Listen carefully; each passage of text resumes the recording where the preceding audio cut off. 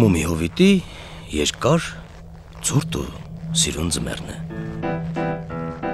Մումի հովիտն այն տեղն է, որտեղ ապրում է Մումի ընտանիքը։ Նրանք ունեն հարևաններ։ Խեմուլներ, խոմսաներ, ֆիլիպինկաներ, տովսաներ ու էլի մանր մուներ էակներ, որոնք անգամ անուն չունեն։ Ինչպես ամենուր, այնպես էլ Մումի հովիտում ծմրանը նշում են ամանորը։ Զարդարում են տները, ինչպես խոմսաները։ Սպասում են խմորը հասնի, ինչպես ֆիլիպինկան։ Իսկ մումիները ոչինչ էլ չեն անում, որովհետև ցուրտը գալիս է թե չէ քուն են մտնում մինչև մինչև գարուն։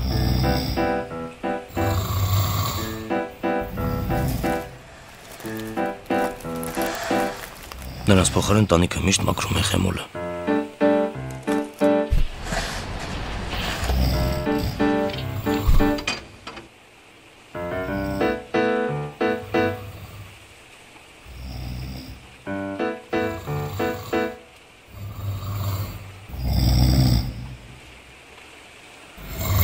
Այս անգամ էլ կմաքրեր, եթե հանկարծ չվրդովեր։ Դե կարելի է հասկանալ։ Սարած ձեռքով ուրիշի տանիքը մաքրելը վիրավորական է։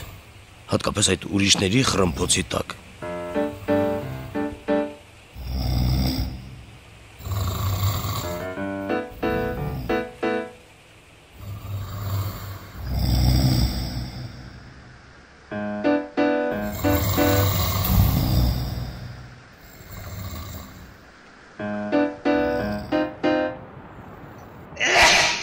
Փրշտաց խեմուլը ու այդ թե ինչ եղավ։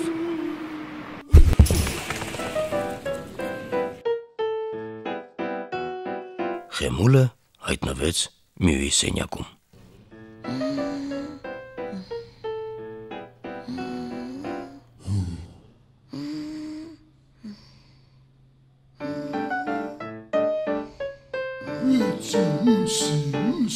Ամանորն է գալիս, ամանորը,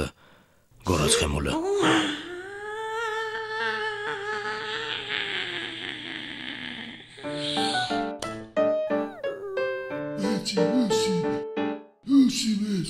Ամանորն է գալիս, կրկնեց նա։ Ուհա, միքս մենե «Մ, Գալիս է որ ինչ անի, ասաց Մյուն։ Խեմուլը վրթովմունքից էլի փրշտաց։ Այդքան էլ ճիշտ, ասաց Մյուն։ Է, դեղին թաթմանս էլ կորավ, հոգոցանեց Խեմուլը։ Գոնե դեղին թաթմանը չկորեր։ Մոմիների խրմփոցը ավելի ու ավելի վիրավորական էր հնչում։ Քնեք, քնեք։ Խեմուլու տանիքը կմաքրի, լապտերները կկախի, տոնածառը կզարդարի, ամանորը կդիմավորի։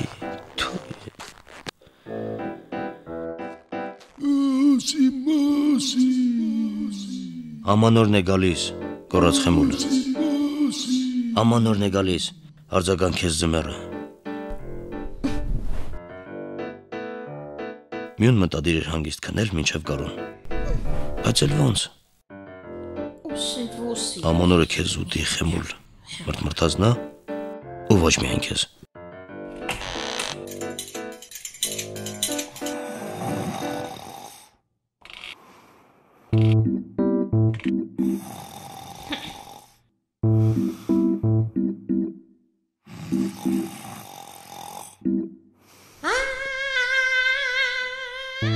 Գալիս է, ամանորը մոտենում է, վեր կացեք, հասնում է արդեն, գորգորում էր մյուն։ Գալիս է, վեր կացեք, վախեցնում էր էլի։ Հասնում է արդեն։ Ով։ Միքսի Ինչու։ Այետու Մամա։ Պետք է պատրաստվել, վեր կացեք, շտապեք, թե չէ ուշ կլինի, ճճում էր մյուն։ Չրելով առանց այն էլ դուրս բրծած աչքերը։ Դե մյուն հաճույքով էր վախեցնում մոմիներին։ Այդ կորցում վարպետ էր։ Էլ էր վախեցնում։ Դե, Սիրում էր վախեցնել։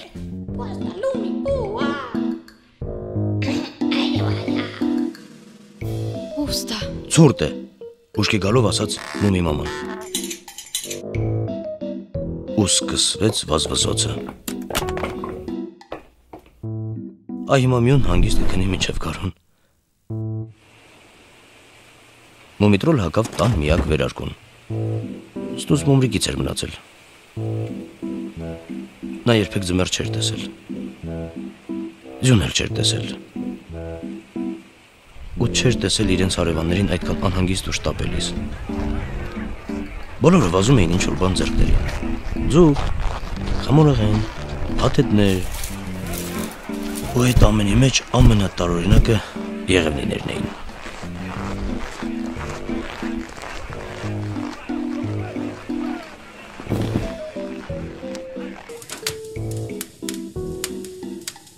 Բոլորը վազում են ու բակում լիքը սպիտակ բան կա, ասաց Մումին։ Երբ Մումի papan որևէ հարցի պատասխան չէր ունենում, սիրտը կակao էր ուզում։ Մումի մաման արդեն սարքում էր կակաոն։ Ճիշտ է, գարուն չէր, բայց արտնացել էին։ Կակաոյի բույրը ու վառարանի ջերմությունը արտնացրեց նաև անանուն էակներին։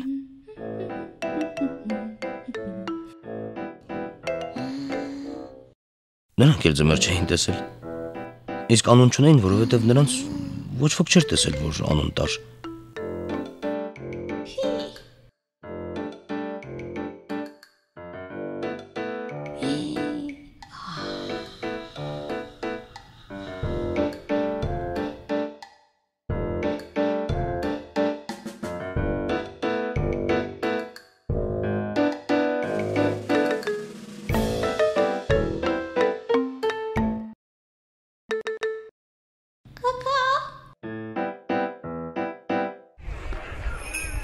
Պակաս զարմացած չէին հարևանները։ Մումիենց ձմռանը արդեն տեսնելով։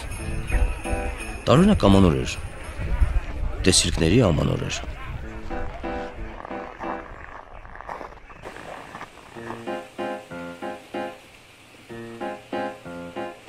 Մինչ Մումի papan ու Մումին ընտրում էին, թե որ եղևնին պիտի կտրեն, մայրիկը հարևաններին էր հետևում պատուհանից, որ հասկանա թե ինչ պետք է անի, որ ամանորը գոհ մնա։ Բայց քանի որ գաղափար չուներ թե ամանորը ինչ է սիրում, որոշեց պատրաստել այն ամենը, ինչ իրենք են սիրում։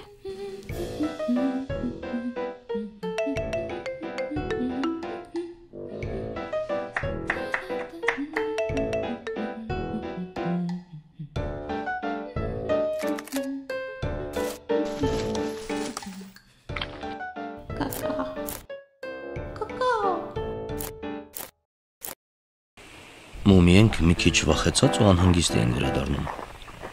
Արդեն մութ էր։ Մամային մենակ էին թողել։ Ամել կարող է այդ ամանորը արդեն եկել էր։ Ծառը բակի ամենաբարձր կետում դնելով հասկացան, որ տկլոր է ու պետք է ինչ-որ բանով զարդարվի։ Քանի որ երկար մտածելու ժամանակ չկար, տանը ինչ սիրուն բան գտան, կախեցին ճյուղերից։ Եղևնին այնպես գեղեցկացավ, որ մումիկի բերանը բացվեց ու դուրս թռավ տոննա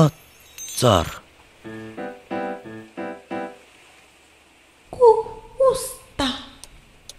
Ու հենց այդ պահին էլ եկավ ամանորը։